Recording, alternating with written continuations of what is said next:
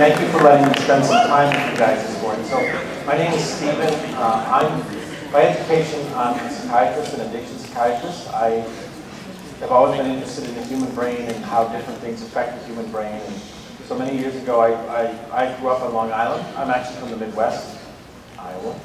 Um, grew up on Long Island. I went to college in Jersey, medical school in the Midwest. And I became a psychiatrist and I got my PhD in neuroscience and I decided I wanted to go into the research end of of the business. So stopped seeing patients a while ago, and now all my patients are research subjects. I run an addiction research center at NYU in the School of Medicine. So I'm an addiction research scientist. I'm not here to tell you that drugs are bad and, and don't do drugs. You don't need to hear that from me. You've heard it. You need, you'll hear it from people far more important than I am. So I'm not here to talk about how bad drugs are. I'm just here to show you some science. I do science in the addiction world. Um, just so we're all on the, on, the, on the, same page, you're going to see some images of people that have the disease of addiction. Some of them are from Brewster. It's not unique to Brewster. I live in West Hampton on the east end of Long Island. I have patients from West Hampton. I went to high school in Port Jefferson. I have patients in Port Jefferson. So districts in the tri-state area all have this issue. Every drug that we've ever studied in the city is here. It's also in Long Island. So there's nothing unique about your district. I'm not here because you've got a problem that's worse than anywhere else. The problem's about the same. Different districts have more common other different drugs, but for the most part, every addictive drug we study is here, and it's where I live. So some of the patients are from here. And they could be patients that went through here five years ago. They could be patients who are here currently. You understand that we're all adults these things happen, and this is the science I do. So, my youngest patients in the center are fourth graders. They're nine years old. They're alcoholics. They're drinking a bottle, bottle and a half of gin or vodka a day. They're this big. I have kids in sixth, seventh, and eighth grade who are addicted to opiates, heroin. They're injecting heroin under their tongue daily. These kids are 11, 12 years old. And I have people in their 80s who are addicted to methamphetamine. Methamphetamine is the most addictive drug we've ever seen. Anyone watch Breaking Bad? Right. Of course. So Breaking Bad, the compound he was making was methamphetamine. We'll talk about that a little later on. It's the most addictive drug we've ever seen. But we'll talk about it and we'll talk about some other things that we've been seeing. So, patients who come to my center come as volunteers. No one comes because they have to. People who come, come because they want to get involved in the research we do. It's no different than an, than an Alzheimer's center or the lupus center. It's no different than any of those. Mine's just addiction. I've been interested in it for a really long time for a whole bunch of reasons. So we've been studying this disease, I've been studying for almost 40 years. The data you're going to see today are all published. You can Google it, you can read all about it. They're all in the scientific journals that we publish in. I'm not going to show you anything that hasn't been published. So, if you have any questions, you can ask. There were some amazing questions in the last group. You can ask anything you want to ask. I've been doing this over a really long time. I've been asked questions forever. You can ask anything you want. If I don't know the answer, I'll tell you. I have two kids of my own. They're grown and gone. But I had my issues with the parent. We can talk about that. Um, so I'll try to make it as simple as I can. If I say something you don't understand or I use a word you don't understand, or you just don't believe what I'm saying, that's fine too. Right? The beauty of science is we put it out there and you read it and you either agree with it or you don't. We have data that backs it up. But right, you're welcome to understand it or not understand it, believe it, not believe it. I'm just going to show you some simple science. So, people who come to our center are volunteers. They have some addiction. We study all addictions. The most common patient we have is obese. Obesity is an addiction to food. And we have about 15% of our program are chemically dependent, the different drugs that you've heard of. And then the biggest group, not obese, are the behavioral addictions. And we'll talk about those. We've experienced something in the last few years that changed everything for us and I'm sure you will absolutely know what it is when we get there. So what we do is we study the human brain. Right? Addiction is a disease that's resident in your brain. It's a disease that we think you're born with. We, the youngest patient that's been published that we've recorded is a three-year-old who has the disease of addiction. She's not addicted to anything, but she's got the disease. We see the disease of addiction in the brains of people before they get addicted. Right? We spend a lot of time identifying kids who have the disease. We spend a lot of time looking for kids at risk. If it's truly a disease, and this is true of every disease, it represents a change in how your body lives, not how your body looks. So these imaging techniques that you see up there on the screen, CT, X-ray, and MR, these are anatomical imaging techniques. They take pictures of your anatomy, what you look like. A disease is the manifestation of changes in how you live, not how you look. So, for the science people, a disease is a change in physiology, not anatomy. That means those cameras help us when a disease has advanced far enough, right? How do we diagnose cancer? Really one of two ways. We feel a mass, or we become symptomatic of one. In either case, by the time you feel it or by the time you're symptomatic of it, the disease is substantial. That means the disease has to exist before you get sick. Right? Because when you have a tumor that you can finally feel, it's been there for months before. You just weren't symptomatic of it. That means every single disease that's out there has to exist in your body before you get sick. So if we have a tool, a camera that allows us to see diseases before you get sick, that provides an enormous advantage to us in treating it. That's what we do with addiction. We see it in brains of kids before they get addicted. Because we know that the single greatest way to prevent it from happening is to educate kids that they have it so they won't engage in behaviors that unmask it. What we know about addiction is if it's in your brain, if you have it, behaviors are going to bring it out. What we say, the term we use is unmasked. People who have the disease, of addiction in their brains unmask it as a consequence of their behavior. Now, before we, once we say that, we always got to make sure that we're clear. Because what people have been telling me for 40 years is that you did it to yourself, it's all your fault, it's because of your parents or the kids you hang out with. None of that's true. People who have the disease of addiction unmask it by doing things we all do. Number one addiction in the world is obesity. We all eat. Everybody eats. So nobody gets up in the morning and says, I want to be addicted to something, or I want the disease. Nobody. What happens is you engage in behaviors that everyone engages in, and if you have the disease of addiction in your brain, it shows up. It unmasks. Now we see it, and we measure it. And we spend two days a week identifying kids at risk, and we educate them. And it's really simple. Type 2 diabetes is a classic example. That's a disease. It's the manifestation of gaining too much weight. If you have type 2 diabetes and you keep your BMI around 25, it never shows up. The problem is, as you age, you gain weight, and it shows up. And then all of a sudden, you've gained a little too much weight, now you're a type 2 diabetic. Well, you've got two things. You can either lose weight, or you can start using insulin. If you lose weight, the disease is kept in balance. Addiction is the same way. If you have it in your brain and you engage in behaviors that are mastic that we all do, it shows up. Now, unfortunately, unlike type 2 diabetes, we can't manage addiction with weight. Now we need to manage and treat it. And we can. It's a disease that we can manage and we can treat once you express it. So we'll talk about some things that express it, and we'll talk about some behaviors that are consistent with it, and I'll show you the effects of addictive substances and behaviors on the brain. The way we measure or we look at patients is we use something called a PET scanner. PET, it's an acronym that stands for positron emission tomography. It is a functional imaging technique. It shows us how your body lives, not how it looks. It's a physiologic imaging technique, not an anatomical imaging technique. It shows me function, not anatomy. So I see diseases before anybody gets sick. We see Alzheimer's disease in kids who are 17 years old. These are kids who come and volunteer to our center, and they're normal controls. They don't have the disease of addiction, they're just controls. We see Alzheimer's disease. We see schizophrenia, we see depression, bipolar disorder, we see Parkinson's, we see Huntington's, we see cancers all the time because we have this tool that lets us see how your body lives.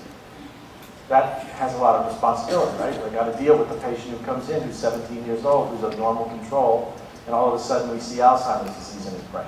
A disease that isn't going to show up for 50 years, but we see it. So this is the power of this instrument. It's the power of the technology that we now have where we can see diseases before people get sick.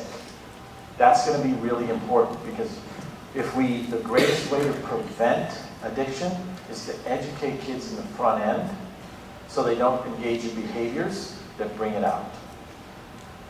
PET scans are presented in color. They're the only imaging technique in medicine that we present in color. The color scale we use is the rainbow scale. Everybody knows what the rainbow scale is. What you did.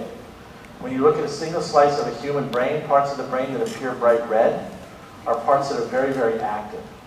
Yellows and greens less active, blues and blacks not active at all.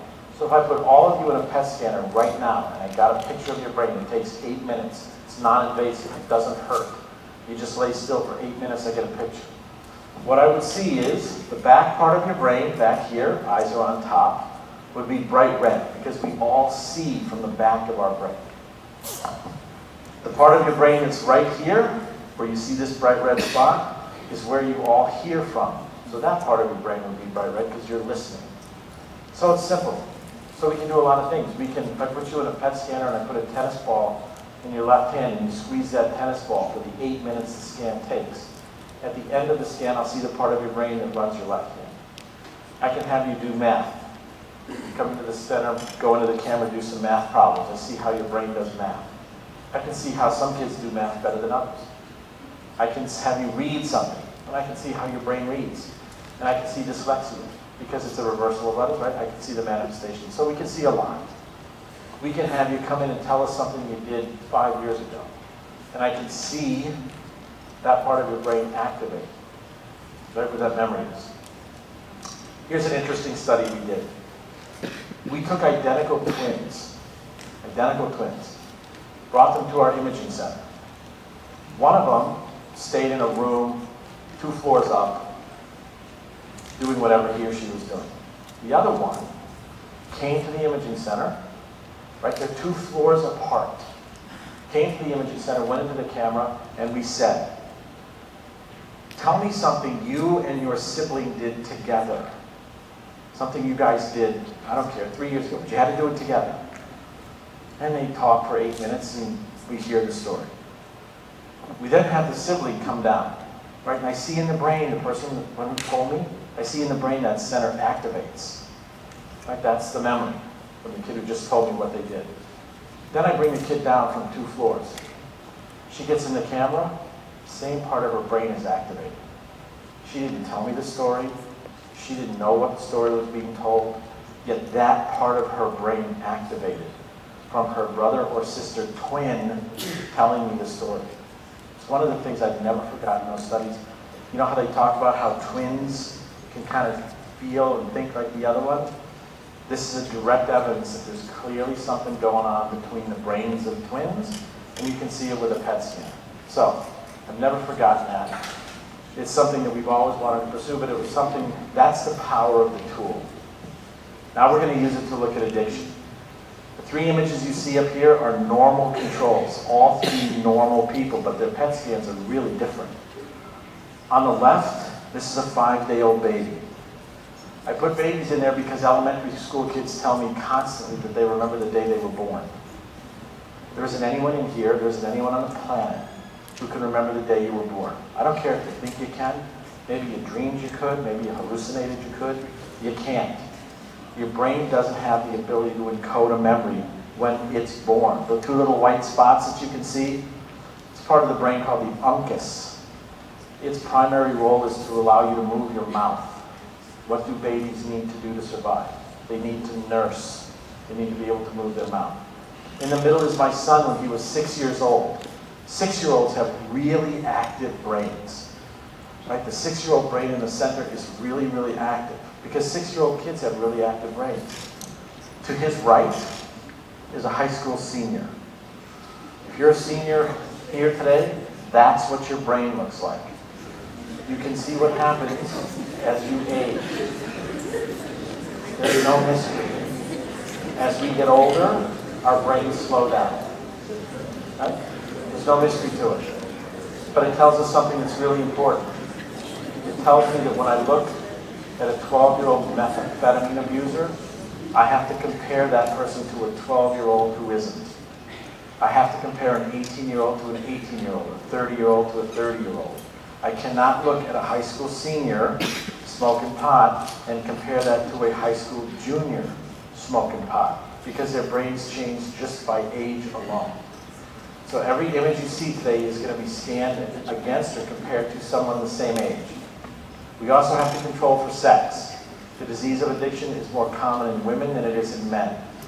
It's also more difficult to treat in women than it is in men. So, not only are we going to control for age, we're going to control for sex. So, the 12-year-old girl who's using meth, amphetamine, is going to be compared to a 12-year-old girl who isn't using methamphetamine. And the nine and the nine-year-old alcoholic boy is going to be compared to a nine-year-old boy who isn't. So we're controlling for age and we're controlling for sex. Okay. If you've never seen a PET scanner, that's a PET scanner. It's not terribly impressive. It's obscenely expensive, but not terribly impressive. It's just a box with a hole in it, makes no noise, non-invasive, doesn't hurt, in and out, eight minutes. Okay, so the disease of addiction is caused by a change in a chemical in your brain called dopamine. Dopamine is a neurotransmitter. It's a chemical your brain produces 24-7. You're making it all the time. Because its primary role is movement. Anytime you move anything, right, we have three muscle types. We have striated muscle, cardiac muscle, smooth muscle. Those muscles are all controlled by dopamine. Anytime you move any muscle, and you're moving muscles all the time, your heart's beating, you're breathing, your brain is constantly making dopamine so that can happen. Should you lose dopamine for any reason, a disease, drug abuse, traumatic brain injury, PTSD, whatever, you have trouble moving. That's a disease called Parkinson's. If you've ever heard of Parkinson's disease, it's a movement disorder. Right? If you, Muhammad Ali, most kids remember Muhammad Ali. If you remember him at the 84 Olympics, standing there trying to light the torch, he had these tremors. At the end of his life, he couldn't even speak, let alone chew, because he couldn't move his mouth. Parkinson's disease is a movement disorder that's caused by low dopamine. Next, Dopamine is a chemical in your brain that allows you to feel happy or sad. It's really simple. If you're happy, it's because dopamine levels go up. If you're sad, it's because they go down. So we're in a school. You leave this assembly, and you go to your next period class, and the teacher hands you a 98. And you're happy that you got a 98. Your dopamine levels will go up 4 or 5%. Kid sitting next to you gets a 10 on the same test. Right? Dopamine levels go down 4 or 5%. The most your dopamine is ever going to move is 4 or 5%. Because if it goes up 8 or 9%, schizophrenia. If it goes down 8 or 9%, can't move. So your brain controls dopamine. It's really simple. You will not move your dopamine levels much more than 4 or 5% unless you use an addictive substance. Every addictive substance raises brain dopamine levels. It's real simple. So let's do that analogy. The kid who gets the 98 on a math test, he or she, dopamine goes up 4 or 5%. Then at the end of the day, they want to celebrate that test by drinking some alcohol. So they fill a shot glass with tequila and they take a shot. Right. What happens? Dopamine levels go up about 20,000%, 21,000%. So that's a typical response to an acute dose of alcohol, 20,000 times greater than anything you'll experience. It's simple. Every addictive drug works by increasing dopamine. And the degree to which they increase dopamine tells us how addictive it is. So the kid who gets a 98 in a test, his buddy gets a 98, one takes a shot of tequila, the other uses a little meth. The one who uses meth, it goes up 910,000 to 1.3 million percent. Methamphetamine raises dopamine levels six orders of magnitude, over a million times. Most addictive drug we've ever seen. On the left side of the scale is caffeine. about 100%. So it's real simple. If a drug raises dopamine levels, it's addictive, period. Really simple. The degree to which it does tells us how addictive it is. Okay, that's brain dopamine. Dopamine, eyes on top, that's where your dopamine is. It's in the middle of your brain on both sides, right and left. That's your brain dopamine. Now what we're going to do is we're going to take advantage of a study that was done over 100 years ago. It's called conditioned response. We know that the number one reason kids take an addictive substance more than once is because of the cues, the triggers, that cause it. All that means is if you get high with your friend and you see your friend in a few days, that's your cue to use again. So the question is, can we look at somebody and can we tell, one, if they're addicted to anything, and two, how addicted they are. So here's what we did. We went out and we got a bunch of high school kids who smoked pot. Not hard to find.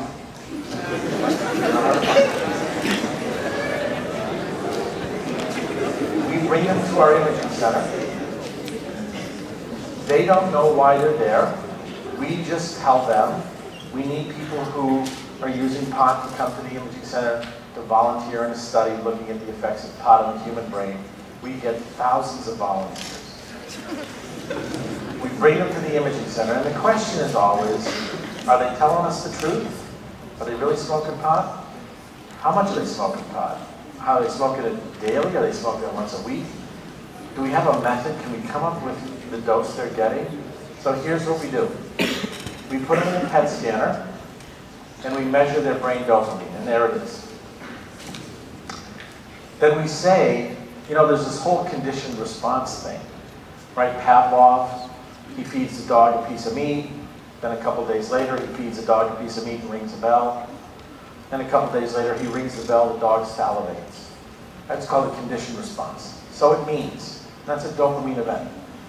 It means that if you're truly addicted to something, then when you see it, or when you hear it, or when you smell it, then you should get a response similar to it. Right? The dog hears the bell, so he knows he's going to get meat, so he salivates. So now I take my people who say they're using pot, I put them in the PET scanner, and I show them a photograph of the beach. I get, there's their dopamine. Then I show them a cigarette, tobacco. No change in brain dopamine. They say they don't smoke, they don't use any nicotine. Normal response. Then I show them a blunt, and their dopamine levels go way up. So, here's the deal. We know that if you are using a substance that is by definition addictive, then we know we can see your conditioned response to it. It's not rocket science. It's incredibly consistent.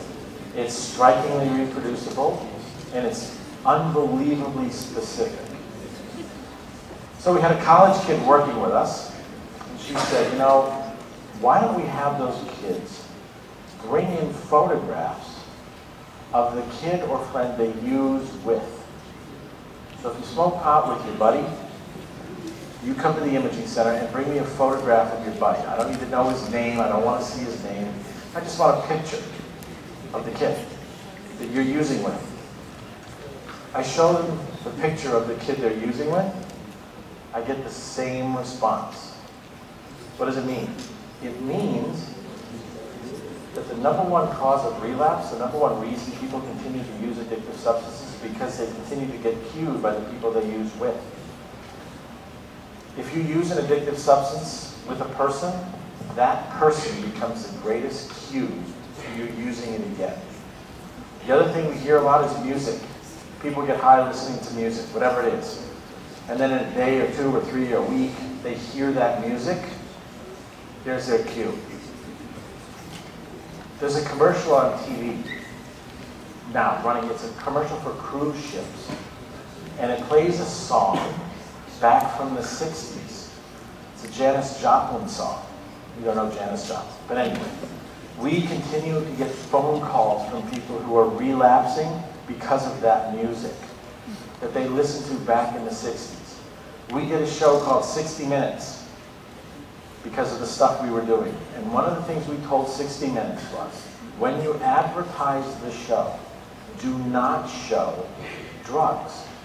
You know, you've got this whole thing coming up, the science of addiction, we're going to show you what goes on in the brain. It's called the B-roll. Don't show drugs. What do you think they did? They showed drugs. We got inundated with calls for people who relapsed just by seeing the lead into the 60-minute story. All it means is, if you get addicted to something, the number one reason you'll continue to do it is because of the cues that you experience as a consequence of doing it. If You get high with your friend, your friend is going to be the greatest cue to cause relapse. Okay, so we've been dealing with this big issue. When I was in medical school back in the early 80s, medical school is four years. I saw three kids die in four years from a drug overdose. Today in 2019, we lose eight kids an hour, 192 kids a day. The greatest risk to your life today is drug abuse. Something's going on, right? When I was in medical school, I saw less than a kid a year die. Now I see eight kids an hour die, 192 a day. Something's going on.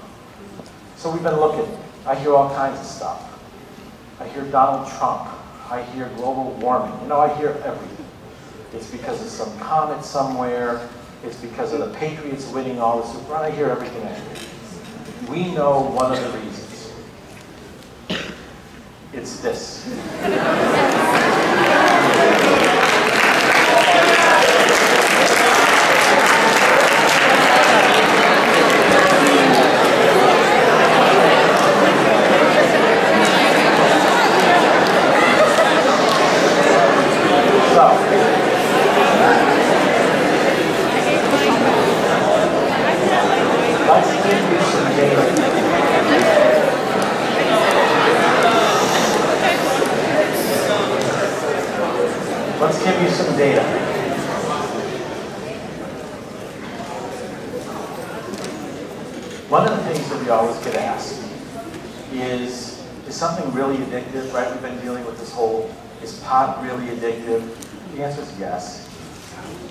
Now the question is, are these games really addictive or is that crazy? So what we did was the Pavlov thing.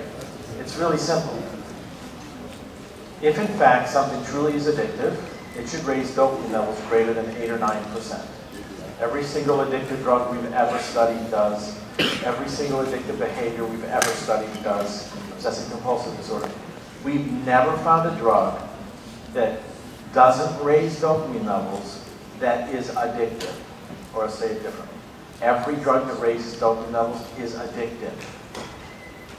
Every drug that is addictive produces a conditioned response. Seeing pot.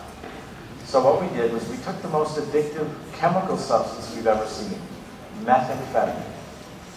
It's here, it's in Brewster, it's the Breaking Bad drug, it's in West Hampton. I take 12-year-old kids who are addicted to meth and I show them methamphetamine, a photograph, their dopamine levels will go up about 50,000%. Just looking at a photograph of meth, nothing comes close. Alcohol is about 15,000%, THC raises maybe 22,000%, nothing comes close to meth. Now I go out and I get a bunch of sixth graders. These kids are 11. And they're playing Fortnite for up to two hours a day. That's nothing. That's nothing. My patients, my patients play Fortnite 12 to 14 hours a. So, here's what we do. We bring them to the center. We put them in a PET scanner. Right. We put them in the PET scanner, and we show them this picture. Their dopamine levels go up 92,000%. That's twice what you see for meth. It's four times what you see for cocaine. In fact, just this week, Canada filed a lawsuit against the creators of Fortnite, claiming that it has the same addictive liability as cocaine. The truth is, it's four times more addictive than cocaine. So, when we look at the data, here's our control, there's our Fortnite response. So let's give you the next piece. You got a question? You're gonna have to yell. Yeah, does that mean that cocaine is better for you than play Fortnite? Does it mean that cocaine is better for you Fortnite? So let's answer the question. Let's answer the question. He asked, does it mean that cocaine is better for you than Fortnite? So I'm going to just assume we're talking about the disease of addiction. Here's the deal. Of the people who use cocaine, only about 8% ever get addicted. Of the people who use Fortnite, over 91% get addicted. So let's look at the next step.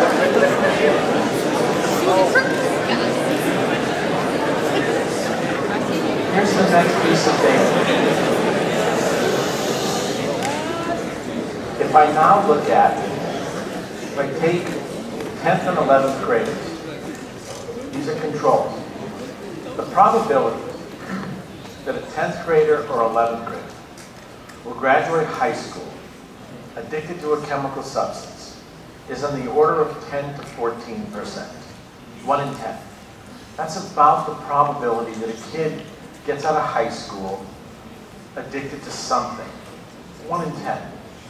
If I look at 10th or 11th graders who are playing Fortnite up to four and a half hours a day, more than 80% will show chemical dependency by the time they get out of high school. So the single greatest predictor for chemical dependency in high school are these games. We met with the people who wrote the code right? Because we were addiction people, we were, you know, what's going on? It turns out, two of the six creators for Fortnite are addiction psychiatrists like me. What they did was designed it to be addictive. And the way they did it was they integrated artificial intelligence into the game.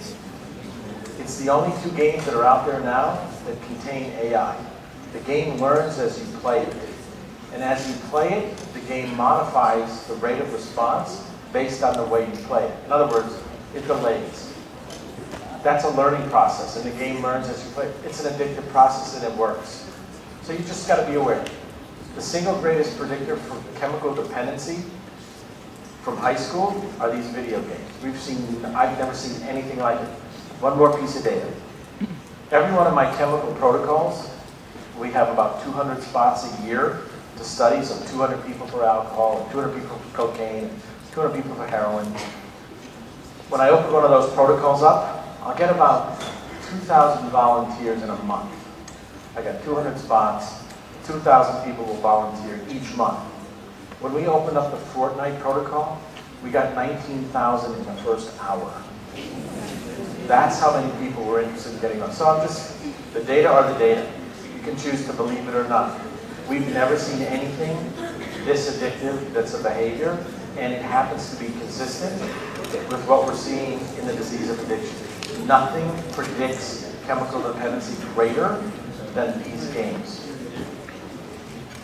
Next, cell phones. We wanted to look at the addictive liability of cell phones. Right? We hear it all the time. So what we did was we went out and we got about 5,200 kids and we broke them into two groups. One group uses iPhones. I use an iPhone. One group uses an Android.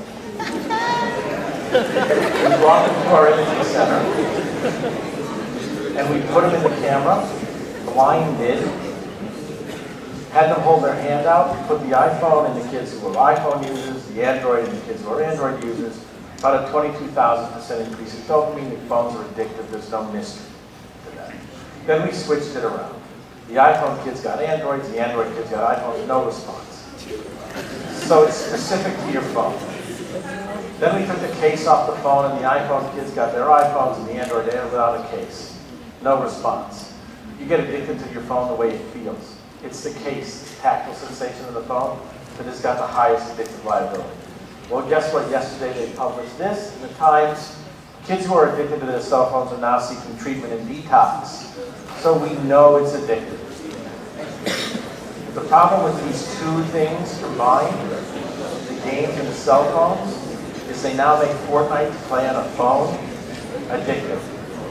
If you play those games on a platform that's addictive, the addictive liability goes up.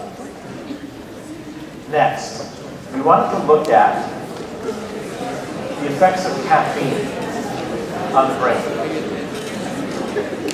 Right, I see your problem. So, yeah. Yeah, yeah.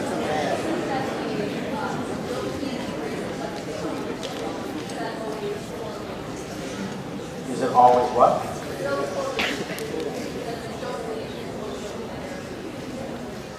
Yeah, uh, to the phone, yes. To the phone, yes. They get addicted to their phone. It's great. Is that what you're asking?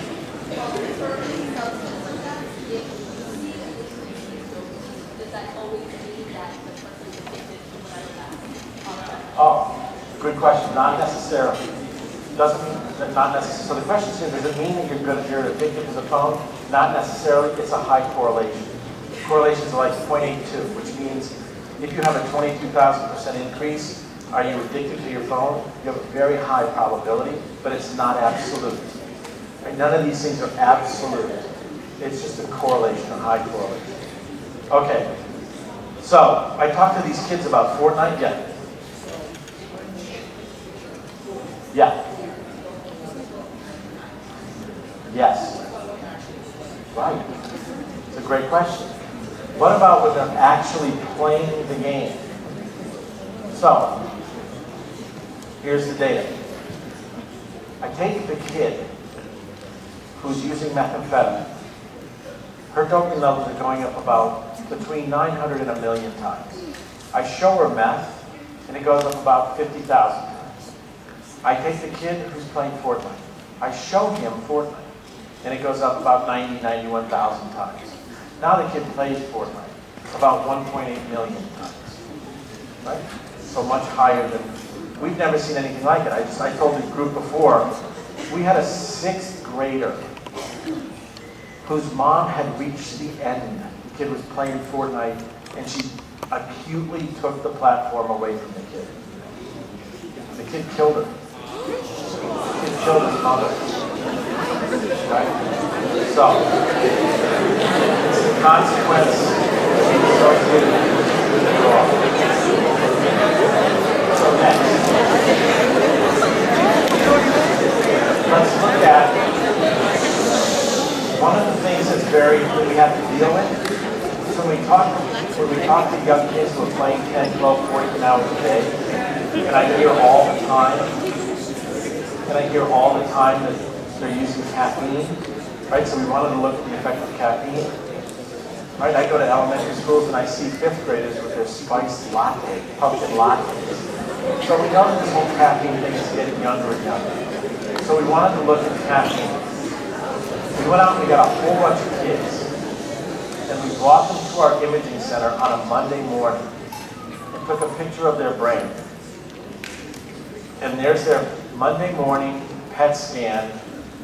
Average age of these kids is just under 17. Monday morning PET scan. Then I hand them one can of Monster to drink. Now, kids who drink Monster tend to drink 2.3 cans a day. I gave them one can. They had one can of Monster to drink. They had 30 minutes to drink it, and then they had another PET scan. There's their brain. Right.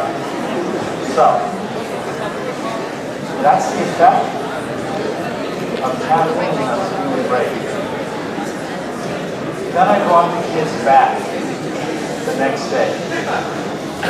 Right, so they came Monday morning, they got a PET scan, they had their monster, they got a PET scan, then they left, then they came back Tuesday morning, They went right into the camera. I didn't give them anything. They just climbed in for their next PET scan, and there's their brain. So here's the deal. We've all known this, but now we know how long. Every addictive drug, every behavior that's addictive changes your brain for a lot longer than it makes you feel. Caffeine, a single dose will change your brain for about 36 hours. A single dose.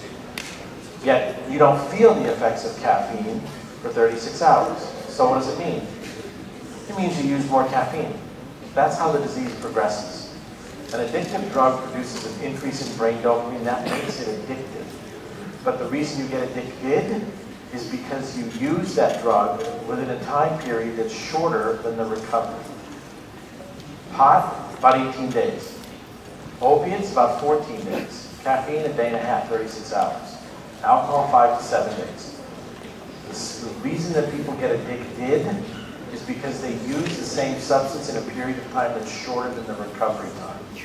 There's something else going on. When your brain is like this with caffeine, if you use any other addictive substance, that substance becomes more addictive. So, you guys know what this stuff is?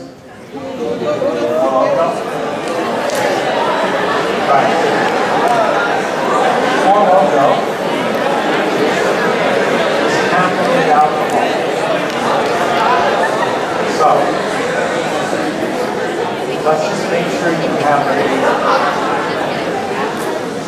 When you mix, when you mix caffeine, when you mix caffeine with any addictive substance, that other substance becomes more addictive. Just so you're aware. Just so you're aware. And the effect of caffeine is about 36 hours.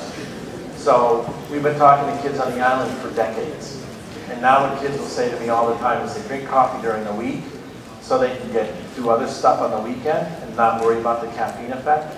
But the caffeine effect is a day and a half. So if you drink coffee on Friday and you do something else, smoke, alcohol, whatever, Saturday, you're still getting the caffeine effect. So just be aware. Caffeine effect, is a acute dose, about a day and a half. So if you add caffeine to any other addictive drug, it becomes more addictive. Okay, tobacco, simple. In the middle of your brain is a compound called monoamine oxidase. There it is.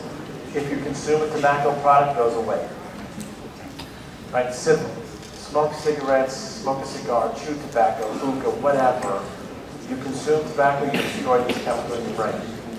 It's dose dependent. 17-year-old boy, normal MAO, one puff on a cigarette, three puffs, one cigarette, three cigarettes, gone. Unfortunately, if you're exposed to secondhand smoke, it goes away too. So there isn't anyone in this room, myself included, who hasn't lost an MAO because we've all been exposed to secondhand smoke. The good news is, it comes back. It takes about 55 days and it comes back.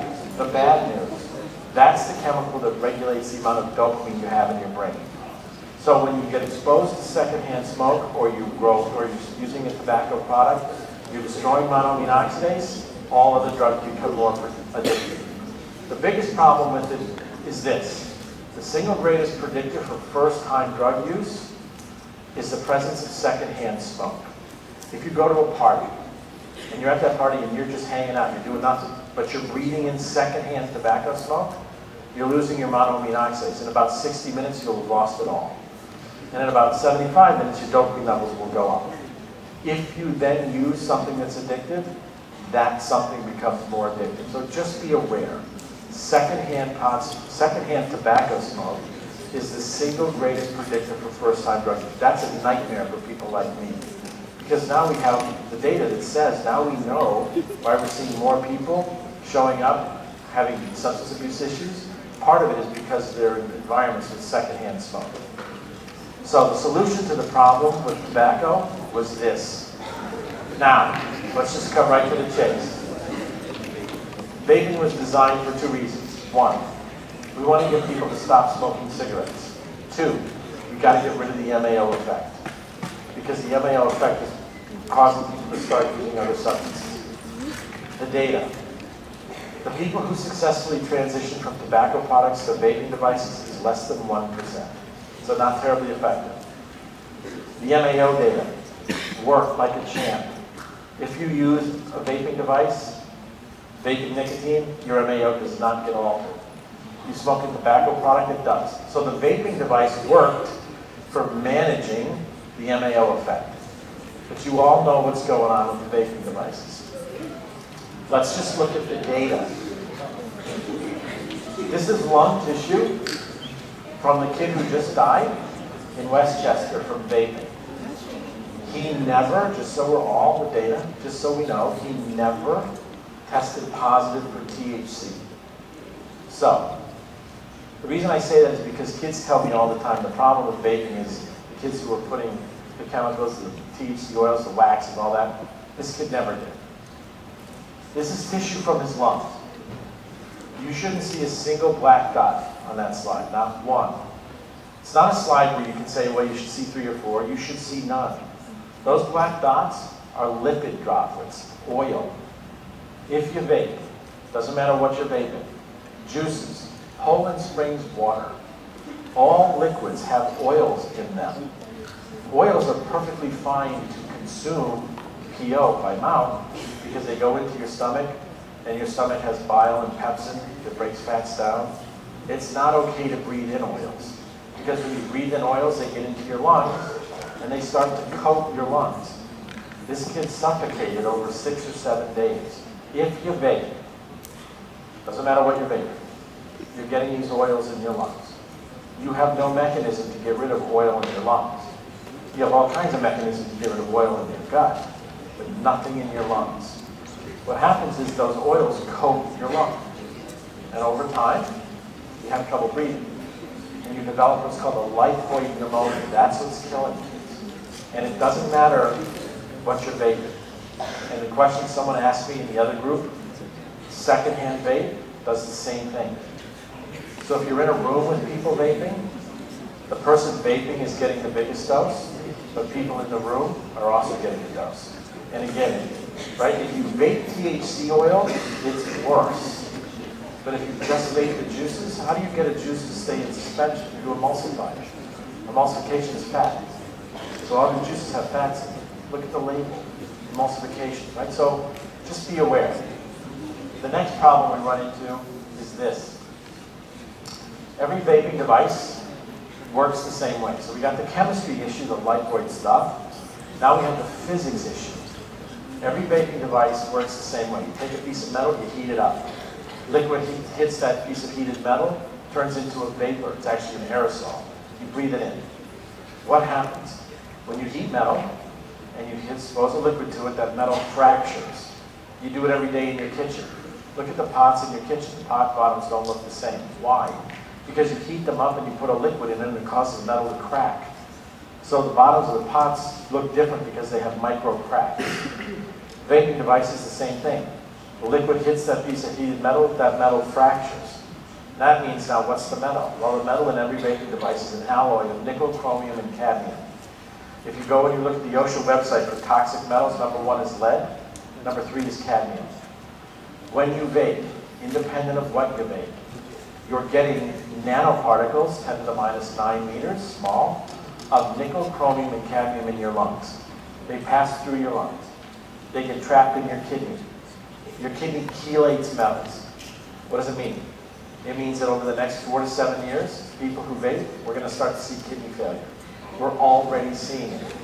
In my district, we've got a 16-year-old kid who has five days a week, six hours a day getting kidney dialysis because his kidneys no longer work. If you vape, the big problem, the acute problem, is lung failure.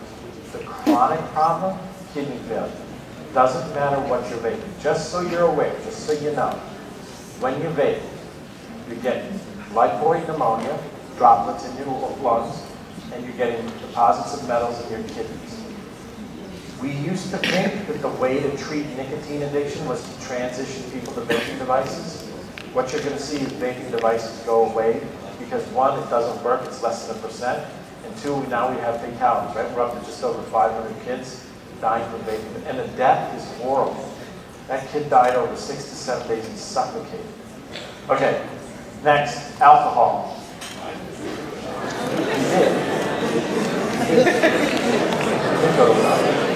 So,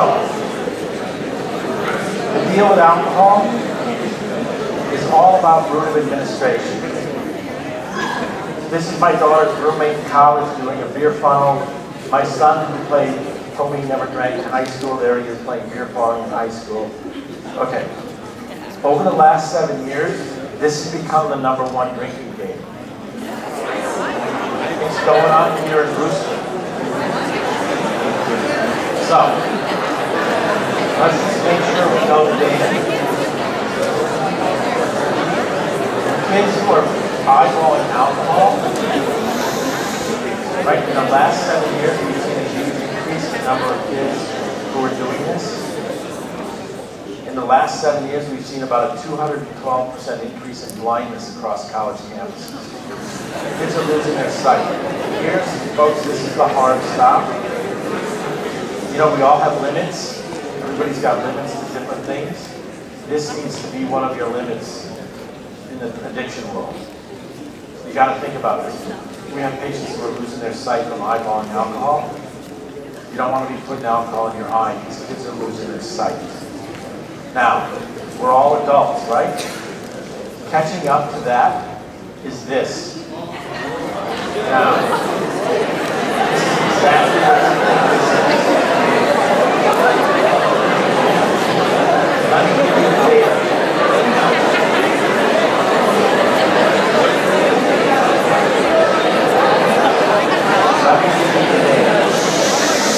Thank you. The data.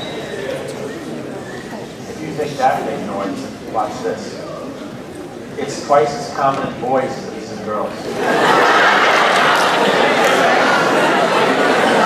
So.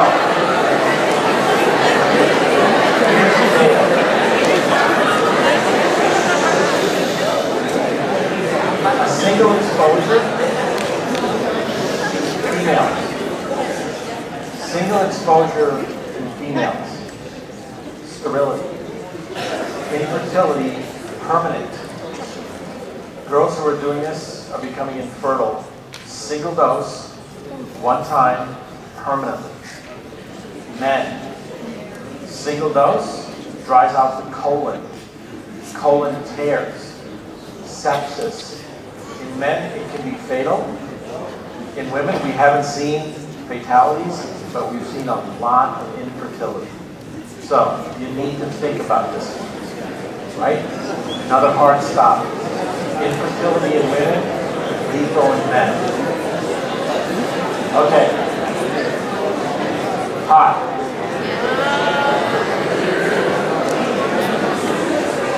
Let's cut right to the chase. Hot. THC is a potent inhibitor of mitosis. For those of you, mitosis is cell division. If you smoke pot, cells stop dividing. The only part of your brain that's growing during adolescence is the front. If you smoke pot during adolescence, the front part of your brain stops growing. And it will stop for about 18 days. If you continue to smoke pot, your brain frontal lobe stops growing. So if you stop smoking pot, you start smoking at 15 and quit when you're 25, at 25 you'll have a frontal lobe that's as dense as a 15-year-old kid. The problem with smoking pot during adolescence is it arrests brain growth. This is a transient event. If you stop, your brain will start to grow. It's acute, meaning each dose stops it more and more. So smoking pot during adolescence arrests brain growth. Okay, let's look, I want to go to this last drug because it's here.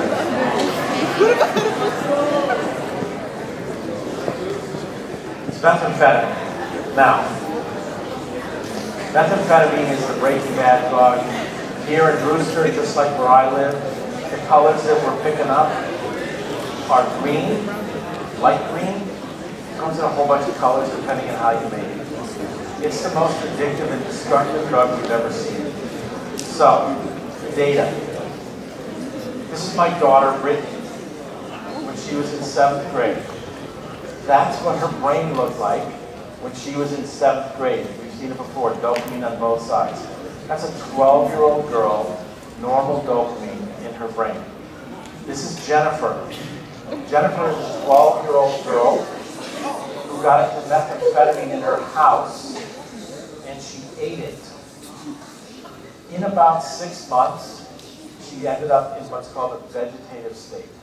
Blind, deaf, curled into a fetal position, where she has lived since. My daughter Brittany is now 30, and Jennifer is 30. Her six-year-old sister was in the same condition. Methamphetamine is a strikingly neurotoxic drug. It means it kills brain dopamine cells on contact. She gave herself Parkinson's disease from a single dose. Here's the next problem. When I get 100 kids who test positive for methamphetamine, they test positive in urine, blood, and hair. So I know this meth in them. And I ask them to fill out a blind survey, right? No name, list the drugs you've used. Over 90% of them leave methamphetamine off. I'll see alcohol, maybe I'll see pot. There's no meth. Very few people actually put meth. So what does it mean, well, some of them lied to me. You know, it's my business, I know that. They didn't all lie to me. Turns out methamphetamine has the highest rate of uninformed use. What does it mean?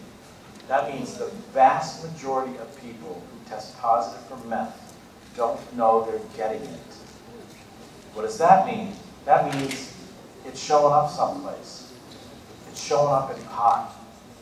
People who are smoking pot, there's the amount of pot that's out there now, depending on what group you look at, between 62% and 71%, of the pot on the street has methamphetamine in it. So we test for it. That's what we do. Right? We look. And sure enough, we work with NIDA, the National Institute on Drug Abuse, and the DEA, the Drug Enforcement Agency, and we look. We go out and sample pot in the Northeast Corridor, Washington, D.C. to Boston. And we're seeing huge contamination rates of pot with methamphetamine. Ten years ago, methamphetamine wasn't in pot. We never saw it pot was laced with something called the angel dust, PCP. Now you don't see that anymore. Now you see meth. So what does it mean? It means that if that's really true, then we should start seeing kids show up with Parkinson's disease. Well, last year, the group in St. Louis decided to look at just that phenomenon, and they took 425 eighth graders. These are kids who were 14 years old, smoking pot. 26% tested positive for signs of Parkinson's disease. The youngest reported case of Parkinson's is 26. We don't see it in kids who are 14 unless it's drug-induced. So, all we want to tell you is that the pot that's out there has methamphetamine in it more often than it doesn't. Where I live on the island, there's a little village called Wading River. It's on the North Shore.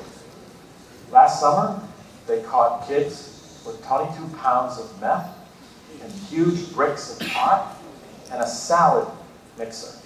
And they were mixing pot and sprinkling meth into it. So, you just have to be aware. The contamination rates of methamphetamine in pot are enormous. The biggest problem we have with pot, the reason, you know, when you hear all this stuff about there's not a lot of science behind pot, you know, one of the reasons is because it's really hard to find just pure pot for the last 50 years, the pot that was out there had angel dust in it. So you couldn't do a study in pot on the street because you had this confounded angel dust. That's why there's not a lot of pot data, because you couldn't find pure pot. Today, angel dust is gone, methamphetamine is replacing it because it's so cheap. CVS and Home Depot, you can make a whole bunch of it, and it's being put in pot. Now, kids have been telling me on the island for the last five years that they buy their pot, and they dump it out on the table and they pick the meth crystals out of it. If they're doing that, the problem's worse than I, I've never seen that. Remember, plants have cell walls. You and I have plasma membranes. We have fossils of cell walls. That means cell walls live. They don't live, they're there forever. You sprinkle some methamphetamine in the pot into the cell wall of the plant, you can't see it. It gets incorporated into the cell wall. So, when I hear kids say to me that they pick the meth out of their pot, if they're doing that, the problem's a lot worse than I thought it was, but you can't see it. So people give you pot, or you know people smoking pot, and you look at the pot, you're not going to see green crystals, or yellow crystals, or pink crystals. It's incorporated into the cell wall, you can't see it. So we're just asking people to be aware. It's a big problem. If you just look at, in the spring, you're gonna see a big report in 60 minutes of the neurochemical damage caused by marijuana laced with methamphetamine. So one of the kids asked me in the other group, if you're in a room and someone's smoking pot with meth in it, are you also getting the same effect? Yeah, you are. Secondhand pot smoke, right? So just be aware. Secondhand pot smoke does the same thing as pot smoking, different dose, right? It's a rule of thumb, it's about one-fifth. The person smoking pot is getting some damage. The person sitting next to him is getting one-fifth the rate. So, just be aware. You know people smoking pot, you know that there's pot out there, right? There is. It's got methamphetamine in it, I guarantee it. It's really becoming a much bigger problem. So I'll end there. Ask, answer any questions anyone has about anything, any drug we didn't talk about. You guys have any questions about any